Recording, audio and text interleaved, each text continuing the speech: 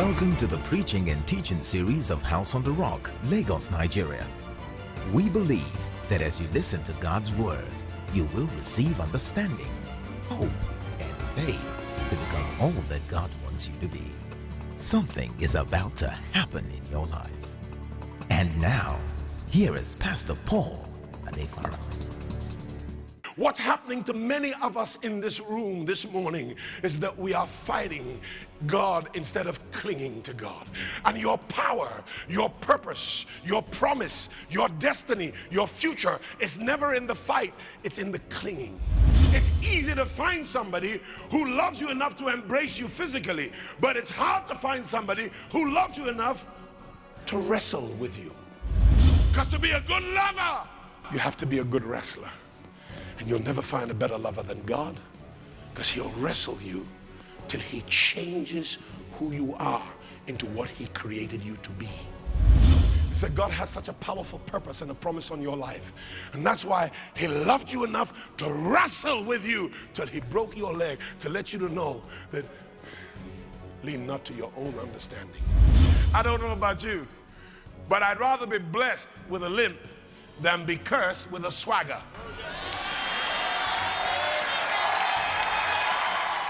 Get the message today when you visit our media store or online at houseontherock.org.ng. Genesis 27, beginning to read in the King James Version of the Bible from verse 18, reading through to verse 29. It's our custom to stand for the reading of the Word of God.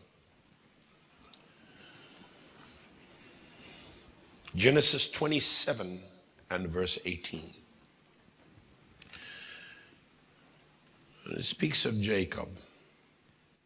And he came unto his father and said, My father. And he said, Here am I. Who art thou, my son? And Jacob said unto his father, I am Esau, thy firstborn. I have done according as thou badest me. Arise, I pray thee, sit and eat of my venison that my soul may bless me, or that thy soul may bless me.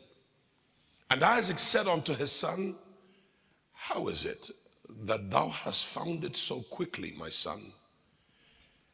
And he said, Because the Lord thy God brought it to me.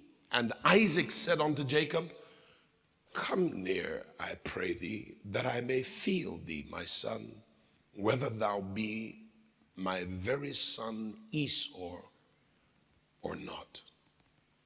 And Jacob went near unto Isaac his father, and he felt him and said, The voice is Jacob's voice, but the hands are the hands of Esau. And he discerned him not, because his hands were hairy as his brother Esau's hands. So he blessed him. And he said, Art thou my very son Esau? And he said, I am. And he said, Bring it near to me, and I will eat of my son's venison, that my soul may bless thee. And he brought it near to him, and he, he did eat, and brought him wine, and he drank. And his father Isaac said unto him, Come near now, and kiss me, my son. And he came near and kissed him, and he smelled the smell of his raiment, and blessed him, and said, See, the smell of my son is as the smell of a field which the Lord has blessed. Therefore, God give thee of the dew of heaven and of the fatness of the earth and plenty of corn and wine, and let people serve thee and nations bow down to thee. Be Lord over thy brethren, and let thy mother's sons bow down to thee. Cursed be everyone that curseth thee, and blessed be he that blesseth thee. And it came to pass as soon as Isaac had made an end of blessing Jacob, and Jacob was yet scarce gone out from the presence of Isaac his father, that Esau his brother came in from his hunting. My concern is with the 18th, 19th, 22nd, and 23rd verses. And he came unto his father and said, My father, And he said, Here am I. Who art thou, my son? And Jacob said unto his father, He was lying, I am Esau, thy firstborn. I have done according as thou badest me. Arise, I pray thee, sit and eat of my venison, that thy soul may bless me. Verse 22 and verse 23 And Jacob went near unto Isaac his father and felt him, and and he felt him, as in Isaac felt Jacob, and said, The voice is Jacob's voice, but the hands are the hands of Esau. And he discerned him not, because his hands were hairy as his brother Esau's hands. And so Isaac blessed Jacob. I was chatting with my wife a few moments ago, in fact, from, from earlier this morning, and I, I said, I, I really want to title my thought the blessing of God on the bad boy. But she told me, she said, You don't want them to take it for license. And I said to her, No, I don't want them to take it for license to be bad with a blessing. But, but I said, The blessing will make the bad, the bad boy, a good boy or a good man. And so, for, for all of you who have antecedents like I do, I want you to know that you are not excluded from the blessing. And I want to talk to you about the blessing of God this morning. Can I have a few moments? Before we do, look for about three or four people, slap them a high five, and tell them the blessing is coming on you.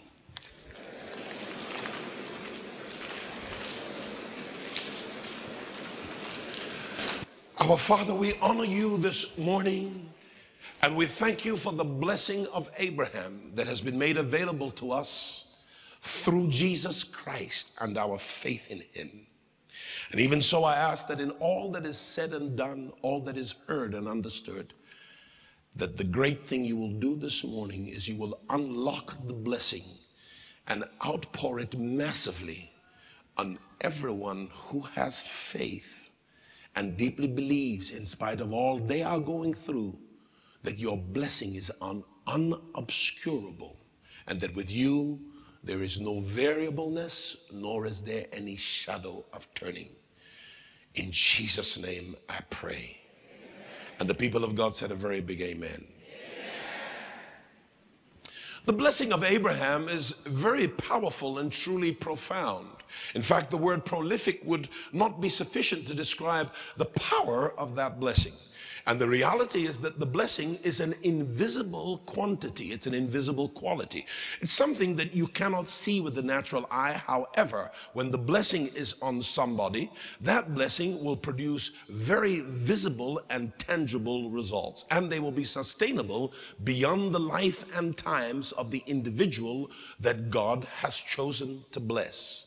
So that when you are blessed, your children, your surrogates, biological and otherwise, will not be able to escape the blessing. And to help you understand the blessing, let me quickly refer your attention to the 12th chapter of the book of Genesis, the first, second, and third verse, where God told Abraham, Come out from your country, from your father's house, and from your kindred, and go to a land that I will show you, and there I will make of you a great nation. I will bless you, I will make your name great and then he went on to tell him that I will bless those who bless you, I will curse those who curse you, and moreover, I will cause all the families of the earth to be blessed in you. And you'll notice that therein there are eight blessings or eight results of that blessing. The first result is that you will have land and you will not be a tenant in that land. That land will be yours to possess. But in order to possess it, you will have to dispossess the caretakers that God appointed to keep the land until you got there. And because the land is precious, the caretakers are often ferocious, they are strong, and they are often referred to in the Bible as giants. So that nobody else could take the land from them until you showed up with a greater power than the giants had. That's important to understand, and it should invigorate you to begin to desire to be a landowner.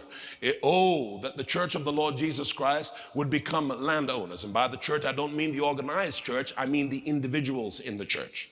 And secondly, He then told Abraham that as a function of that blessing, I will make you great. I will make you a great nation. In other words, I will put such greatness upon you, and that greatness will overflow you till you become nationally significant. And you will be considered national. You'll be considered uh, uh, multiplied. Beyond that, he also told him, I am going to bless you. I'm going to say something to you that is going to change your life, take you from the back and put you in the front, take you from down under and bring you up over, snatch you from obscurity and bring you to notability. I'm going to put something on your life that is very, very significant significant. Not just will I make you, give you land and make you a great nation and then bless you, I'm also going to give you a great name. Being great and having a great name are not the same thing. Being great is something that often happens in the privacy of your isolation. David was great whilst he was killing lions and bears.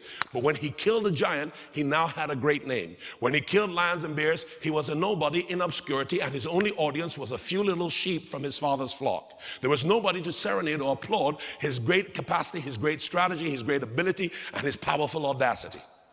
But when God took him from the shadows and brought him into the light of the nation, he was transiting him from greatness into a great name. Because of the great thing that he was going to do that was a transgenerational thing, he had to not only have greatness, but also had to have a great name. I pray for you this morning that as the blessing comes upon you, you will not only be blessed, you will not only be a landowner, you will not only be a great person, but you will also have a great name. Please say amen, somebody. And God didn't stop there. He went further and he said, I want you to be focused. I don't want you to be distracted because when greatness comes upon your life and greatness sits down upon you, you're going to attract enemies and friends. A lot of people will want to benefit from the honor, the power, the glory, the wisdom, the wealth, the, the favor that you have, and therefore they're going to come and support you. God says it's going to be very difficult for you to reciprocate everybody who helps you. You'll have too many gifts, too many birthday cards, too many friends, too many folk trying to help you and to support you. And because you're a conscientious person who has a friendly heart, you're going to try to bless everybody back. But you'll burn out trying to bless them back because they're going to be too many. Because God's going to lift you so high. I don't know who I'm talking to today. But God's going to lift you so high that you'll never have enough capacity to bless them back. God says, I'll take care of that for you. I'll bless those who bless you so you don't have to worry about trying to bless them yourself. Just because they help you, I'm going to help them. Just because they think good of you, I'm going to think good of them. Just because they want to push you along, I'm going to push them along. Slap somebody a high five, tell them, you better bless me. But he also said that, that in this blessing, uh, uh, one of the things that he's going to do is he's going to curse those who curse you. In other words, he's going to contend with those who contend against you. He'll fight with those who fight against you. He'll hurt those who try to hurt you so that no weapon fashioned against you will be able to prosper. Because he says, I don't want you distracted from the purpose for which I blessed you. I want you to build nations and build generations coming out of your loins so that I will have a people on the earth who will do the will of God. And I don't want you losing traction from your purpose by turning to try to deal with your enemies. Every time they try to touch you, I'm going to wound them. Those who try to kill you, I'll kill them. Those who dig a hole for you, I'll dig the hole for them and I'll bury them in the hole that I either dug or that they dug for themselves. You hear what I'm saying? Because I don't want you worrying about how to reciprocate the evildoers or the good doers. Just stay focused. And as long as you stay focused and you walk in the center of my will, which means the center of my power and my purpose, my grace to protect you and to reciprocate your helpers will mightily be upon your life. This is what was called the blessing. And of all the men on the face of the earth, in a place of idolatry called the Ur of the Chaldeans, God's eyes went to and fro, and he saw in the heart of a boy called Abram the willingness to believe God and to trust him and to walk with God. And he snatched him and said, If you will get out of your father's house, if you start thinking outside the box, if you come away from your kindred because they're not thinking on my level, but I perceive you have the ability to think on the level I'm thinking of. And if you come out of your country and you go to a land that I'll show you, I'm going to fix to bless you, boy. Yes, You must understand that in Abraham's house, including Abraham, there were a bunch of liars. They were idolaters. They were stargazers. They were necromancers. They were bad boys. God said, I'm going to bless you. I'm going to bless you. I'm going to bless you. This is, understand for me, ladies and gentlemen, this is not a physical God talking to Abraham. This is an invisible encounter. And this is important for me to begin to underscore because the blessing does not come from the natural. If you gave me money, by the way, you didn't bless me. And if I think that blessing my kids is to give them money, I've missed the point. Because everything that is visible comes from the invisible. Hebrews chapter 11 and verse 3. By faith, we understand that the worlds, that's the tangible, were framed by the word of God, intangible, such that the things which do appear were created by the things which do not appear. So the invisible creates the visible. Unfortunately, we have such a materialistic generation that's constantly focused on the material, but does not understand that the material proceeds from the immaterial. And that if you keep giving somebody stuff, you may be hurting their ability to resource from God. I want to get something on your head before I leave here this morning. I'm twisted by mixed feelings because of the bereavements that we suffer as a people. But in the midst of it, you must walk in the blessing. Hear me and hear me carefully. This blessing hit Abraham and it started the process of changing his life massively. That all of a sudden he started to grow and grow and grow and grow and grow. His livestock grew, his sheep grew, his lambs grew, his cattle grew, everything he had grew. His children grew, his stuff grew, his wealth grew, his power grew, so that there was not one nation or king or people around him that was not subservient or subordinate to him. Five great kings of the Philistines came against him, but God's blessing was on him that God fought them for him, that Abraham barely lifted a hand to fight. The blessing was on him. Everything he touched, it turned to gold. And Abraham became so wealthy that he became frustrated. He said, God, I have all this wealth, but I have no son from my own loins to be my heir. And he said, You promised me that I would become the father of many nations. Yet, how can I be the father of many nations when I'm not even the father of one? And God had been promising him stuff for years, and God's promise had not yet come to pass. And God now took Abraham to a place and he told him, he said, I promise to bless you. I promise to bless you. And when the Almighty God, the promise keeper, promises to bless you, remember, he's not a man that he can lie. Even if he tried to lie, it would come out as a truth because there's so much power in him that if he says something, it will become whatever he says because of the power in him to make what he says become what he says. That's how come he's able to call those things that are not and they become. Drug addict on the back streets of South Miami says, My minister. And even though he was a drug addict, because he called him his minister, he had to become what he called him. You hear what I'm saying to you? God's calling some stuff on you.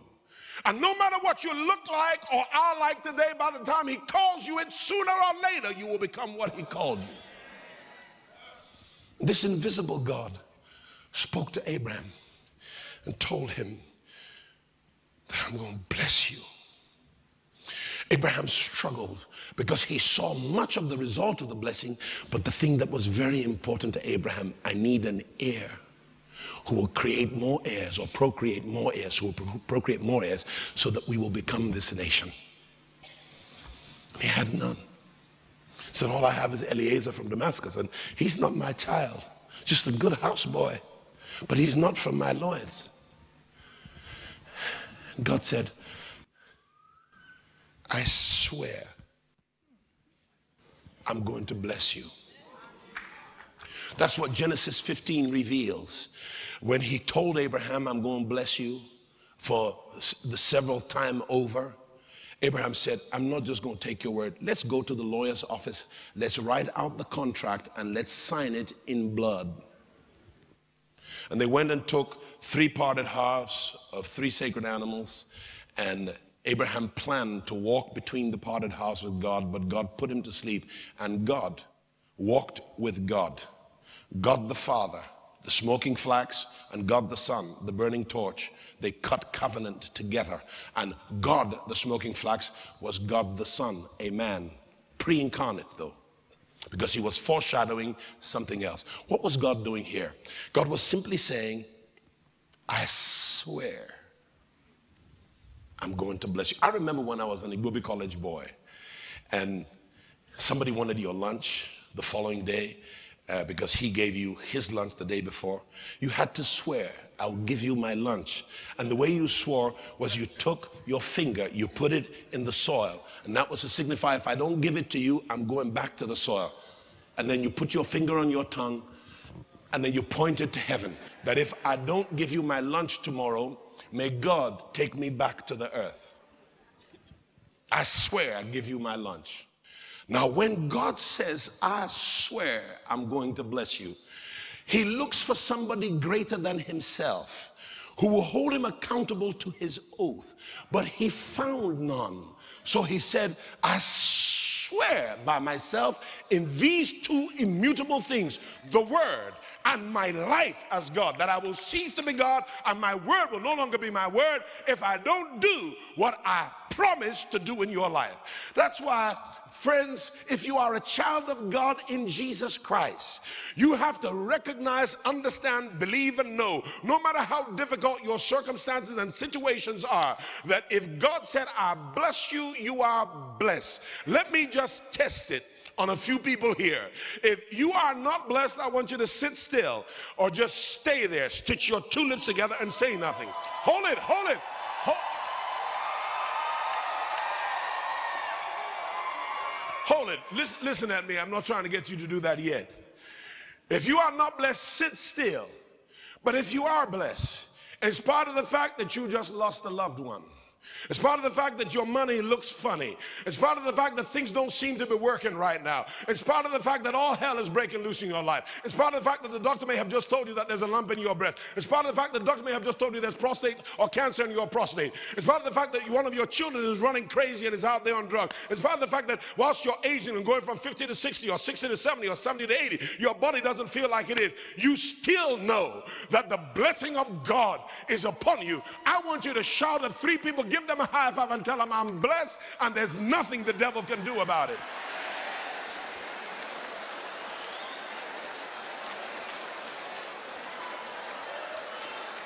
I don't have my car, but I'm blessed. I don't own my own house yet, but I'm blessed. I have no land with a title deed to my name, but I'm blessed. I want to be married, but I'm not yet married, but I'm blessed. My husband died or my wife died, but I'm still blessed. Got a bad doctor's report, but it makes no difference. If God says I'm blessed, baby, I am blessed. I'm blessed. That means I'm not cursed. You can try to curse me, but it ain't gonna work. You can voodoo me, hoodoo me, jex me, take a little wax doll of me, stick pins in it, but honey, it ain't gonna work because if God says I'm blessed, baby, I am blessed. And one of the things you have to recognize is that what God has blessed, no man can curse. Because if you try to curse a blessed man, you're only cursing yourself. Because it's going to come back to you, oh God. I feel something in this room today. Got to contain myself. Sit down. Let me keep talking. I want to keep teaching for a while.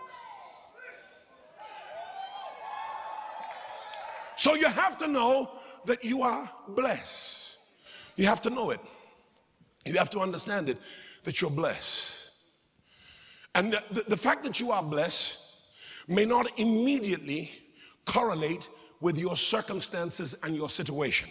But I do guarantee you, eventually it will. Eventually. Eventually. when events become allies with divine purpose, divine promise, and divine power. Eventually. And some of the events that will bring you into alignment with the fulfillment of God's promised blessing upon your life may not always be nice events. It was in the year that King Uzziah died that Isaiah rendezvoused with the Lord. It's often some of the bad things that happen that, that because there's a blessing on your life, God is able to take the bad thing and the blessing now turns it into a good thing. I hear St. Paul preaching in my ear. We know that all things work together. Together. That means there has to be some togetherness of events. That means there has to be some togetherness of some troubles, some struggles, some events in your life. And they work together for your bad, for your good. For those who love God and are called according to his purpose. Abraham wasn't arbitrarily called, he was called for a purpose. Ask somebody, do you know your purpose? And if they don't answer you, tell them you need to find out. One of the greatest blessings is to know your purpose. Gives you traction, not distraction, but traction. Are you with me? I don't know who you are, but you're blessed to get married. Do you know that, that, that, there's a blessing that comes upon you to get you married? And sometimes that blessing will cause delays. Otherwise, you might marry the wrong person. Otherwise, you might get married prematurely. Otherwise, you might not be ready for it, and as a result, may not value the whole institution of, of matrimony and its purpose. You're blessed to build your house, even though there, there are but three zeros in your bank account, just three. To build a house in this country, you're going to need at least six or seven or eight, if not nine.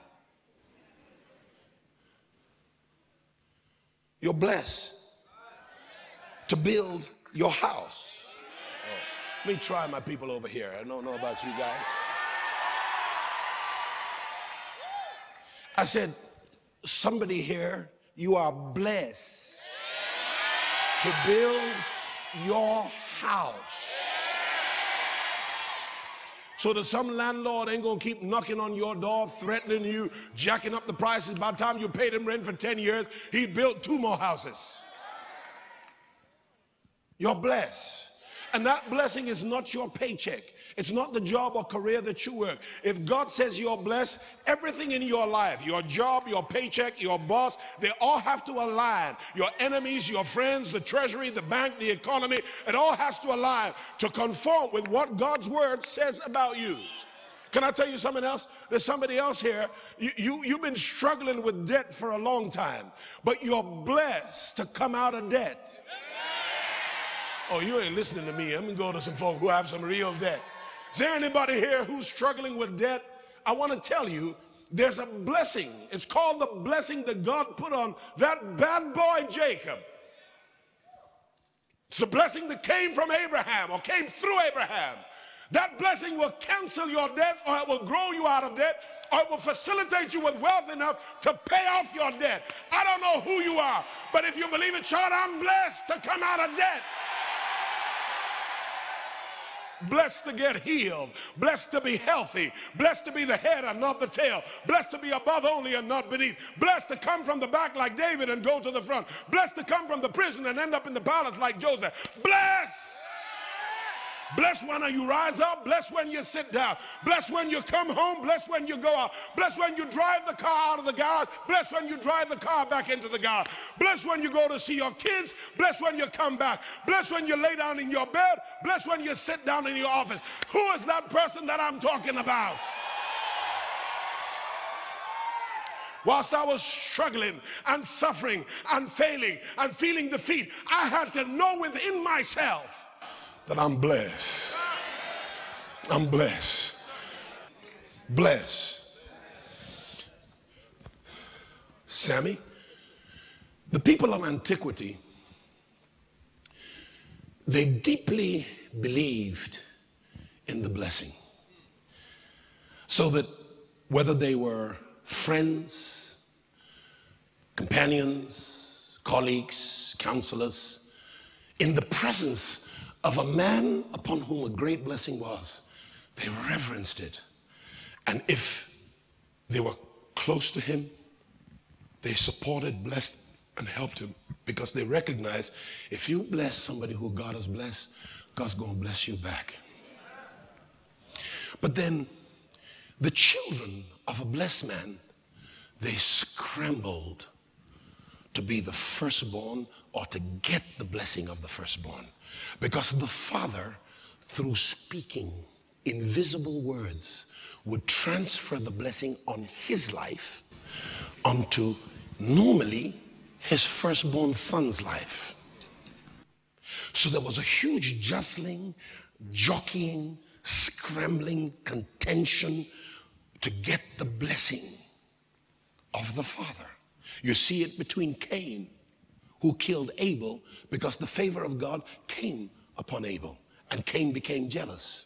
You see it between Ishmael and Isaac.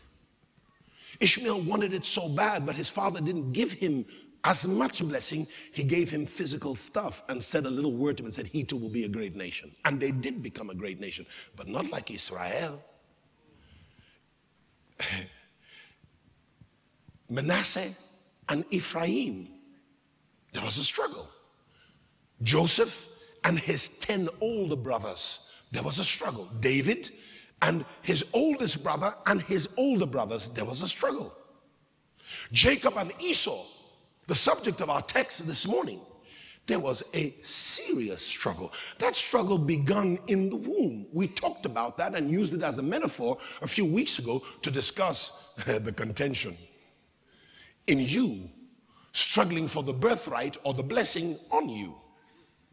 Because if the blessing comes on you and Esau takes it, Esau's going to use the blessing to do evil. He'll use the capacity, the competence of the blessing to do evil. But hear me, my friends. When Jacob and Esau contended for the blessing, something happened that was really quite significant. These boys understood and knew the value of the blessing. They knew its worth, they understood its weight, they knew that whoever got the blessing was going to be mighty, was going to be significant, was going to be powerful, would become the head, that his siblings, uh, the peoples, the nations would be subservient to him and gladly so because they were blessed by following him. Uh, they, they understood that, and so there was a big fight for it. By the way, this blessing was so heavy, so heavy that God chose to surname himself after the man he blessed. So stand up for a moment, sir, if you don't mind. Said, that's Abraham. Abraham came from nowhere and just started prospering and being blessed everywhere on all sides. Everything he did just kept growing and growing and growing. And God said, I am the God of Abraham. In other words, he said, everything you're seeing in his life, I did it for him. He's my surname on earth. And then Abraham, as far as heaven was concerned, looked at God and told earth that Abraham of God. So heaven recognized Abraham as in covenant with God, and earth recognized God as in covenant with Abraham. In other words, everything you see, see happening in his life, God said, I'm the one who did it for him. He's my advertorial to you that if you get into covenant with me the way he got into covenant with me, if you support him and flow with him the way he flows with me, what I did for him, I'll start doing it for you. When I gave you the seven blessings of Abraham, thank you, I forgot to tell you that one of the blessings on Abraham, I gave you seven. One was land, the other one was a great name, become a great nation or greatness. Another one was you'll be blessed. Another one was that um, you'll, you'll have a great name. Another one was that you will you won't have to fight your enemies, I'll fight them for you. You won't have to uh, support your helpers, I'll support them for you. And, and uh, the other one was that, that, that all the families of the earth will be blessed in you. But moreover, I'm going to make you a blessing. I will bless you so much that you won't have room enough to contain it, that is going to overflow to the people around you. see, see, sometimes you're not the teacup, you're the saucer. And whatever comes on the teacup, if it's overflowing and more than sufficient, is going to come in the saucer. Sometimes you're not the saucer, you're the tablecloth. And if it overflows the tablecloth, it's going to come on the table. Sometimes you're not the tablecloth, you're the table. The other day, my house got flooded. The upper floor flooded. The stairs underneath it flooded. The carpet flooded. It flooded the floor downstairs. That flooded too. The door outside, the water came through it. It flooded on the outside. So the house was blessed. Everything in the house. It's going to be difficult if you are genuinely plugged into this house for you to escape the blessing of God. It's going to be difficult. And God said, I did that in his life. I am the God of Abraham. Because in those days, everybody had gods. And they measured the power of your God by what was happening in your life and how much was happening and how well you were protected. And God said, I'm the one who did that. In, in other words, that's my blessing on his life. The Bible says, the blessing of the Lord, it maketh rich, and he adds no sorrow with it. Doesn't mean the enemy won't attack you. Doesn't mean some bad things won't attempt to hurt you. Doesn't mean you won't go through some bad times. But the good news is that when the blessing is on you, God will take what the enemy meant for evil and he'll make it work for your good. Doesn't mean it won't hurt you, but it won't harm your destiny. Doesn't mean you won't feel the pain, but the pain isn't going to produce plight. The pain is going to produce purpose. Are you here? The blessing. Antiquity deeply revered the blessing. They took it very seriously. It was most important to them that I must get my father's blessing. I must get it. In Yoruba land, in Igbo land, in most native lands in this country, we understand the importance of having the verbal blessing of your father.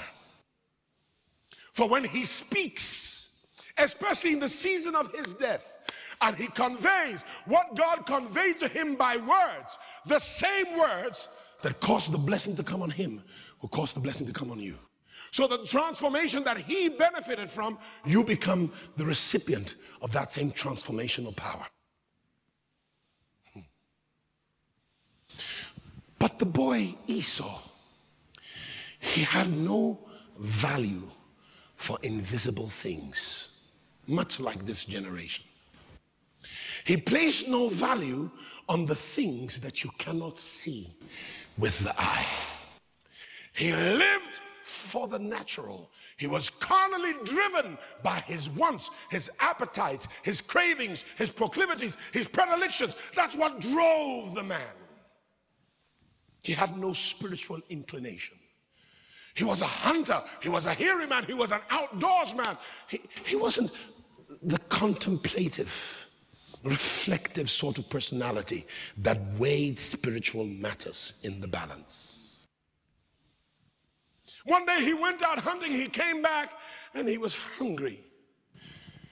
And his brother had been watching him and studying him because his brother obviously had been trained to revere the birthright and to recognize that by tradition, your brother has the right to it. But by prophetic oracle, God spoke to his mother that you will carry the birthright and the blessing. But the father was traditional, the mother was spiritual. Isaac was traditional, Rebecca was spiritual.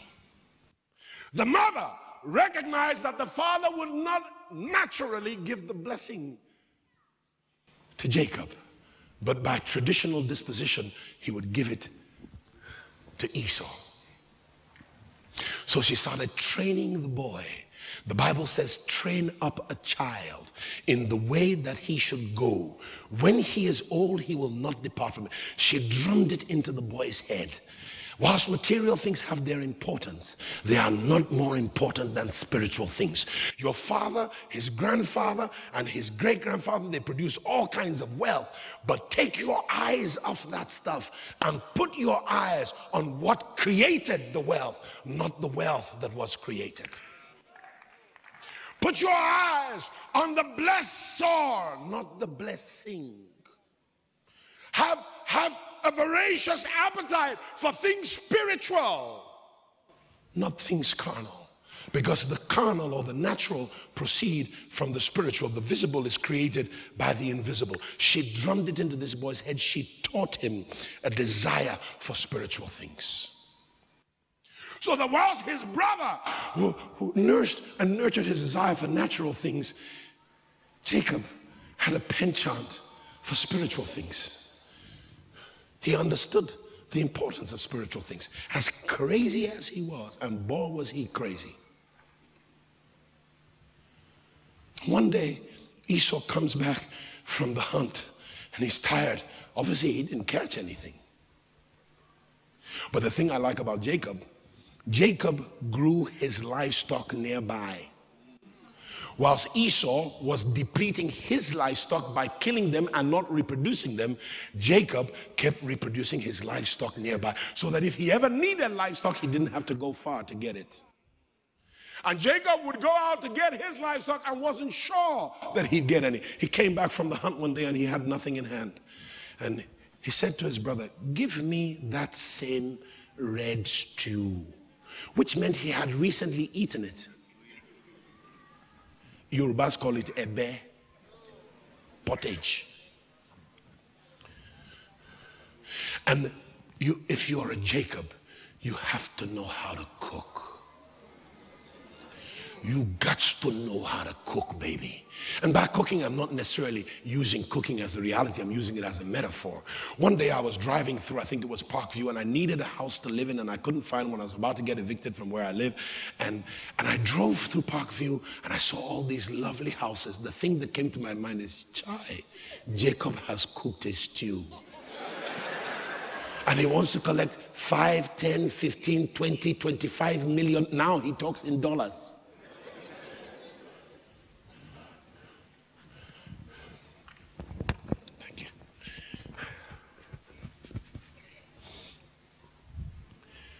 And there's always an Esau willing to sell his birthright for a temporary, fleeting measure of carnal satisfaction. The Bible called Esau a profane man and a fornicator, meaning that he, he, he, relished the momentary pleasure of natural satisfaction over eternal gratification. And he said to his brother, Give me that same red stew, lest I die. His brother said, I'll give it to you on one condition. Sell me your birthright. You know what Esau said? Said, What does the birthright mean to me when I'm about to die? He was not about to die. He, he just had appetite. He hadn't even gotten to hunger yet. He interpreted life as natural things. Whereas life does not consist in paychecks and salaries, life does not consist in bread alone. Man shall not live by paychecks and salaries or bread alone, but by every word that proceedeth out of the mouth of God. He said, What does it mean to me when I'm about to die? You can have my birthright.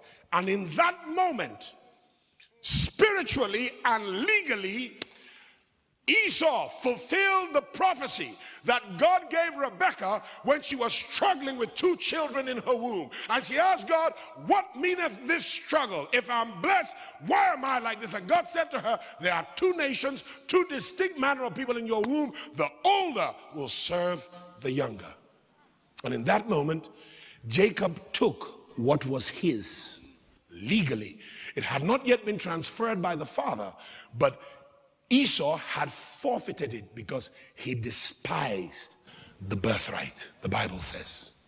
He despised. There are people in this room, hear me carefully, they despise the blessing. There are many. There are probably some of them sitting beside you. Just do a road check. Say, Are you the one he's talking about? Because they will quickly give up the spiritual, the thing that causes a blessing to come upon them. They become rude, they become insubordinate, they become uh, vociferous, they name it. They attack the thing that God is using to bless them. They despise it. They run away from it. They abandon it. They abdicate it. They cheapen it. But Jacob revered it.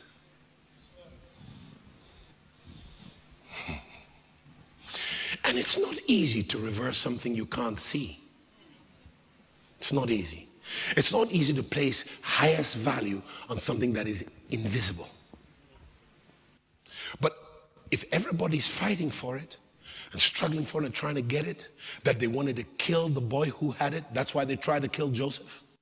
Because it was already committed to him, it hadn't yet been transferred, but his father had already said, This is my son, the one in whom I'm well pleased, and that's why I put the coat of many colors on him. Esau despised it.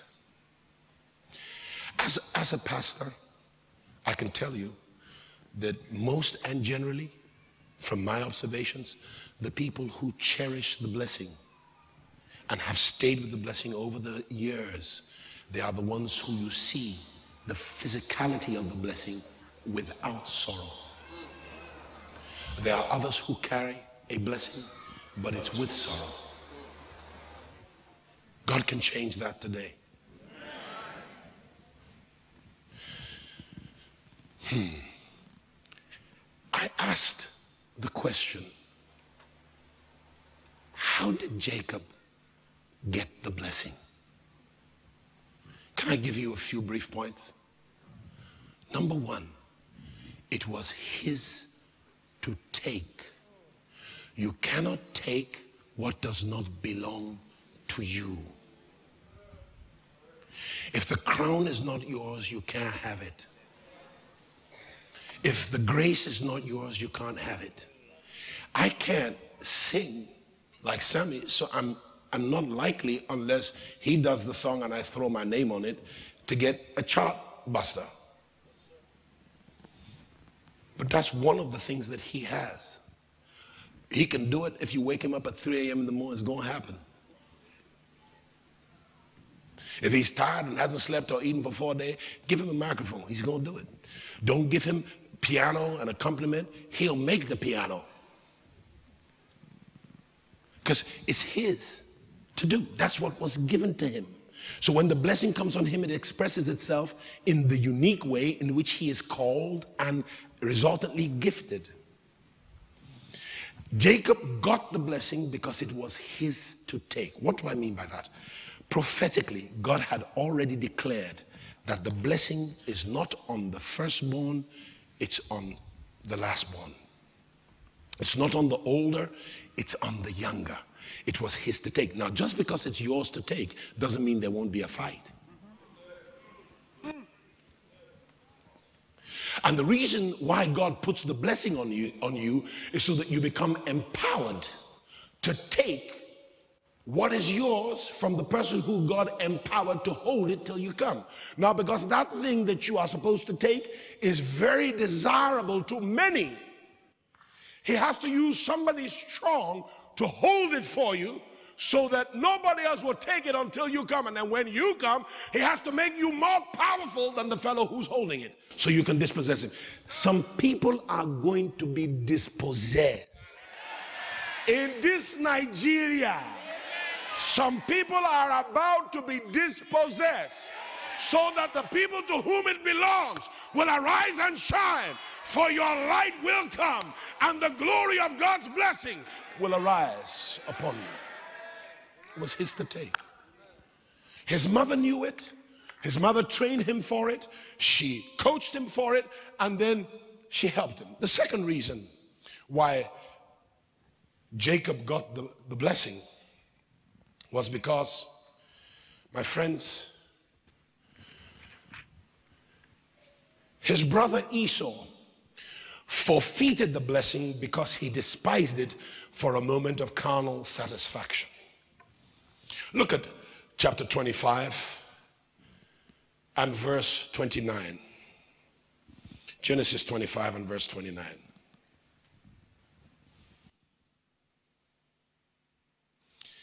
And Jacob sod pottage, and Esau came from the field, and he was faint. And Esau said to Jacob, Feed me, I pray thee, with that same red pottage, because I am faint. Therefore was his name called Edom. And Jacob said, Sell me this day thy birthright. And Esau said, Behold, I am at the point to die. And what profit shall this darn thing? What profit shall this birthright do to me? Facetiously, sarcastically. And Jacob said, Swear to me. Swear to me, not tomorrow, today. And he swore to him, and he sold his birthright unto Jacob. He said, Let's go to the lawyer's office. I have the food you want, I've cooked the stew. Jacob, you had better learn how to cook. Because if you don't cook, Esau is not going to come to trade with you. Yes, sir. And because Esau has the blessing, but he also has no respect for the blessing, if you don't cook, you won't create the opportunity to take what is yours from the person who wrongfully has it because his father is not spiritual but traditional. His coach is not spiritual but traditional. But your coach That's what the fivefold ministry is apostle, prophet, pastor, teacher, evangelist. Spiritual. To teach you spiritual things. Because the father of spiritual things or natural things is spirit. God is the father of all flesh. The reason why he got it, the second reason was because Esau forfeited the blessing for a moment of pleasure a moment of natural satisfaction. But Jacob was right in place. He already had what Jacob wanted, and he knew that because Jacob wanted it so bad, and that Jacob's value system was so skewed that Jacob would give up the blessing for the stew. What stew are you cooking? What are you doing with your competence, your ability, your diversities? What are you doing with your, your gifts, your abilities, your calling? What are you doing? Jacob, have you started opening the shop? Have you started preparing your produce? Have you started preparing your stock? Do you not know that Esau's coming to give you what is rightfully yours and you can't steal it from him? You have to take it legitimately. He has to be the one to give it to you with an oath. Because without an oath, he can take it back, but with an oath, he can never reverse it. What are you cooking? What are you cooking? Ask your neighbor, are you cooking anything? What are you cooking? Do, do, do the people around you see your value? Are you producing value in the economy? Do you not know that the Lagos state economy is bigger than the economy of Kenya and bigger than the economy of 40%, if not 50% of African states? And you live in Lagos. Don't play games.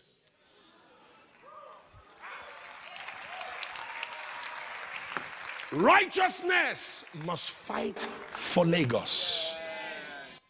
Lagos must not go to the dogs.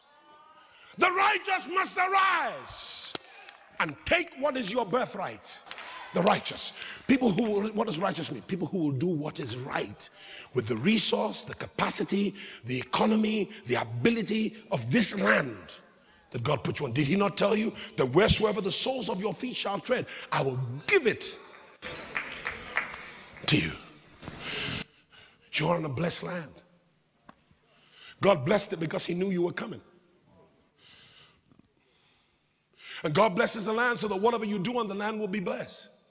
Can I go a little further? I've given you two points. Two. Can I give you a couple more? Two or three more, and then I'll get out of your way. Number three, Jacob had the support and help of somebody who had prophetic understanding of his future. This person taught him about the birthright, She knew about the prophetic promise in Genesis 25. She ignited within Jacob a desire for the blessing so that Jacob worked with his life to be able to get the blessing. She informed him of the prophetic promise. The Bible says, train up a child in the way that he should go. When he's old, he will not depart from it. This person who supported and helped him to get the blessing was his mother. God is your father, but the church is your mother. God gives the instructions. The church, the maternity of who you are, enables the instructions, nurtures you. Hear me. The fivefold gifts in the church have the prophetic insight, the prophetic ability, the tutorial ability, the apostolic grace to build you, to inform you, to train you in the things pertinent to the blessing and the birthright. You understand this? I hope you do. This woman, because of what she heard, she knew that at the point nearing her husband's death, that her husband, as was with the tradition, would lay down in his bed and he would sooner or later call for his firstborn son. But there was a problem because that firstborn son had gone and married strange women. And that would pollute the line that would carry Messiah. So Jacob, or rather Isaac, was annoyed with his son. That's why he required his son to go into the field and get him that famous savory meat called venison and make him a savory dish so that he would eat it and his soul would revive in its love for his son and then bless it. Too many people in our generation don't understand how the blessing works. You want a blessing from where you have not sowed. You want a blessing from where you have not triggered, whereas the law is seed time and then harvest. They are not two different laws, they are one law winter and summer, heat and cold, seed time and harvest. It's one law. You can't receive from what you have not supported. I'm amazed at the many who say, That's my church, that's my. Yet they don't tithe, they don't give, they don't support, and they want the blessing. The blessing is yours but you have to trigger it. His mother heard his father call the firstborn and said, Go and get me that, that special dish. Go and get me some. How do they say it in Yoruba? Erogbe, antelope, grass cutter. Cook it for me the way we do it. Bring it to me. Let me eat it. And then my soul, my emotions, my volition, and my mind will bless you. Esau got up and he ran to the field that he had depleted. He didn't find the livestock quickly. His mother, the, the one who favored Jacob, heard the voice of his father. She quickly called her son. He said, Go and get me two of the best kids of the goat. He didn't have to go far. Make sure you don't have to go far for your goats. Make sure you don't have to go far for your stuff. He went, got them quickly. She made them into, into the savory dish. She, the boy said, My dad will curse me if he finds out that I'm lying to me. He said, Let your curse be on my head. That's a true spiritual matriarch. To preserve the next generation, she was willing to sacrifice herself. And then she said, Don't worry about it. Because he said, My skin is smooth, my brother is hairy. My father will know the difference. He said, Don't worry, give me the skins. She put the skins on him, put the garments of Esau on Jacob, made the dish, and Jacob went into his father. He said, Father, here I am. I brought what you sent me to go and get. His father said, Are you my very son Esau? Guess what Jacob did? Said, Yes, I am. He didn't come in his name. I'm coming. Just hold it right there. Just hold it right there. I'm coming. Because he had support, he was taught how to conduct himself in the presence of the Father. He was trained and helped to conduct himself properly in the presence of the Father because he knew that the blessing comes not just from the Father, but through the Father from God. That even if the Father wanted to give it, the Father can't give it unless God releases him to do it. Are you here? He had support. Number one, it was his to take. Number two,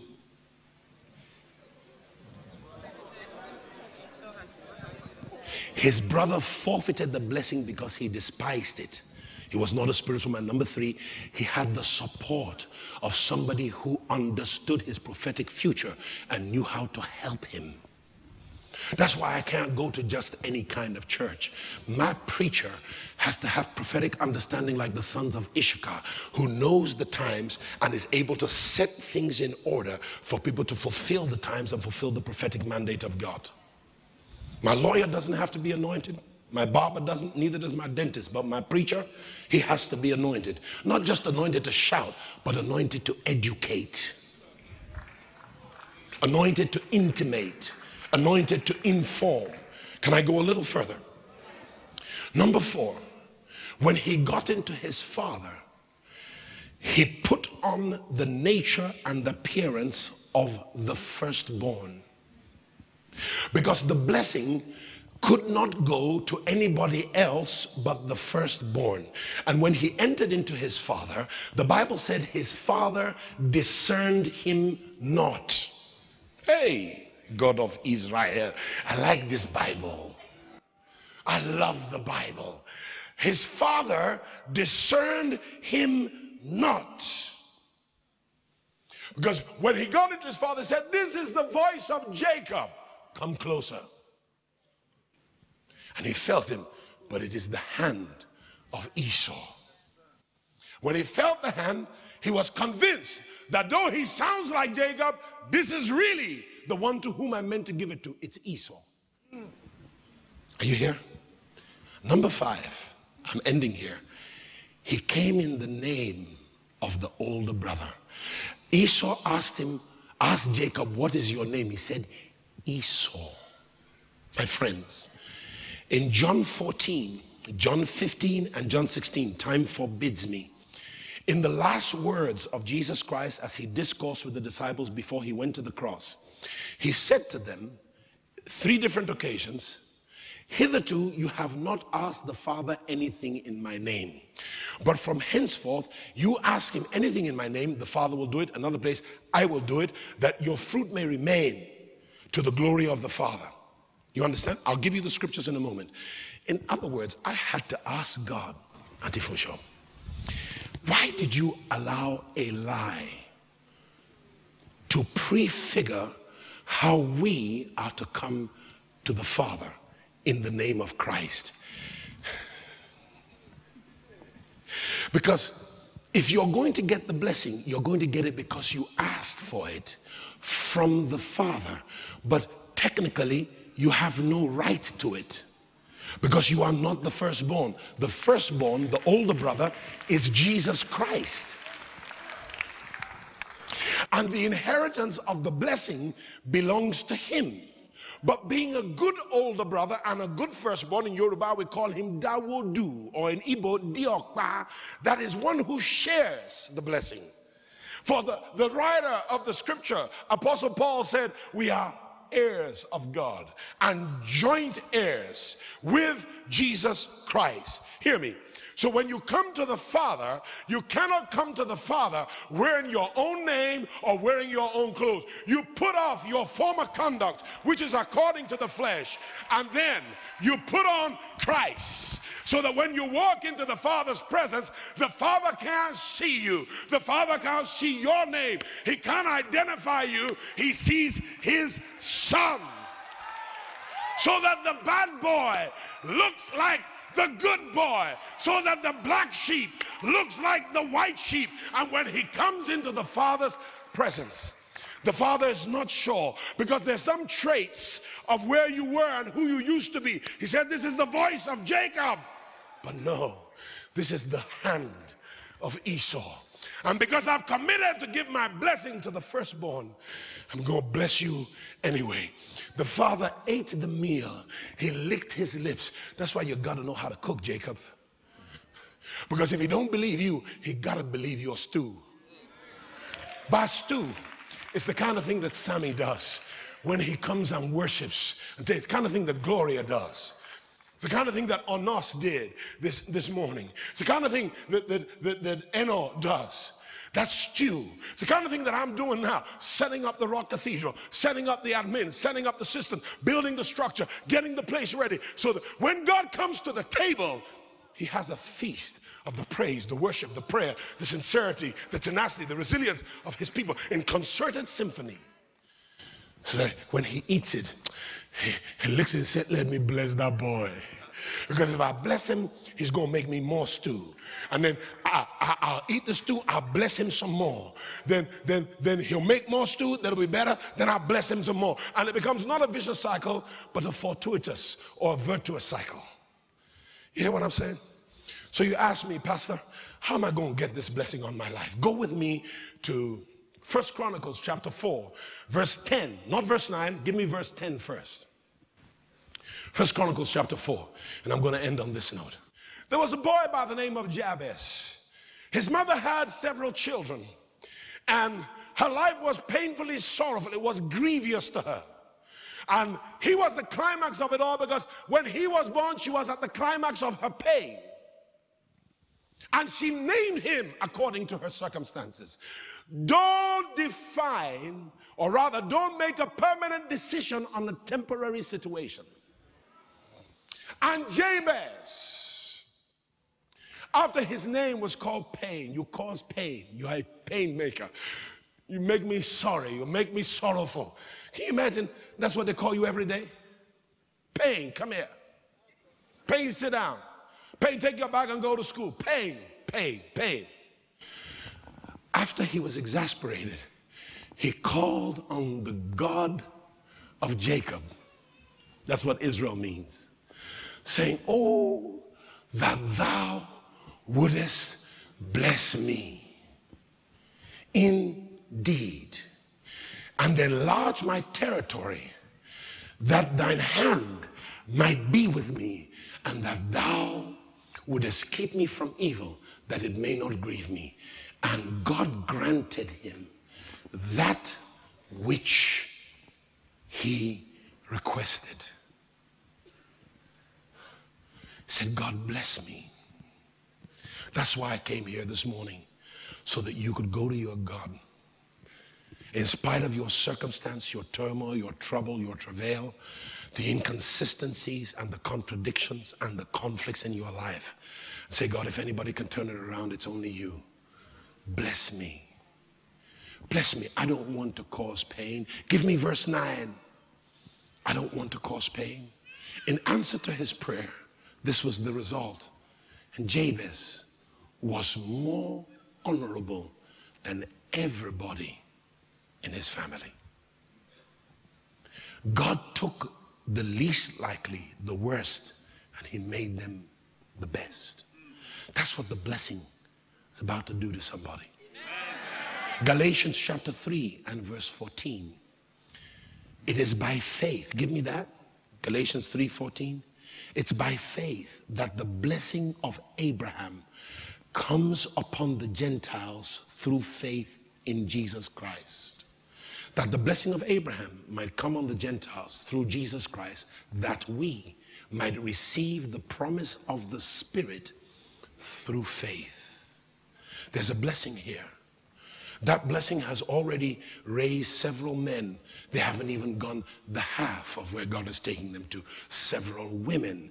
That blessing is what took me from the back streets of South Miami, took a gentleman I know from the floor of Falomo Shopping Center, took several people in this room. I could start enumerating and giving you their testimonies.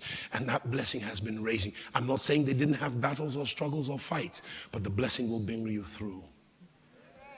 Just like it brought Abraham through. I want you to rise to your feet and you're going to take the next five minutes. This is not between you and your neighbor, this is you. Especially those of you who are in trouble right now, especially those of you who are in a hellhole right now. Five things. It was his to take, the blessing belongs to you. His brother forfeited it because he despised spiritual things. I believe you are a spiritual person. Perhaps that's why you're here this morning.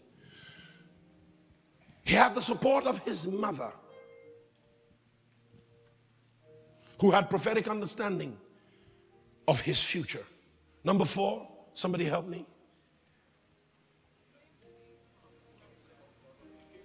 He came in the name of his older brother and he put on the nature and appearance of the older brother. See, one of the problems with the legalistic church is the legalistic church wants to come to God and say, God, give me a blessing because I'm a good boy.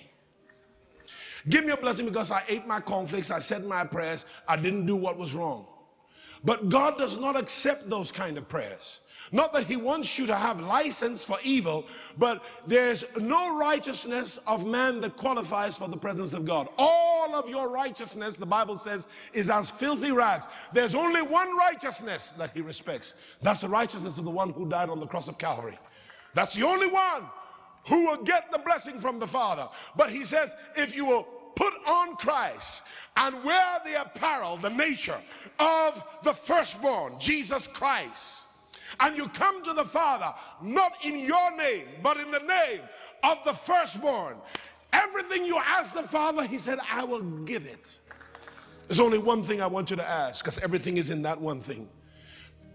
Put off your former conversation and your former conduct, which was fashioned according to your former lusts, and put on Christ.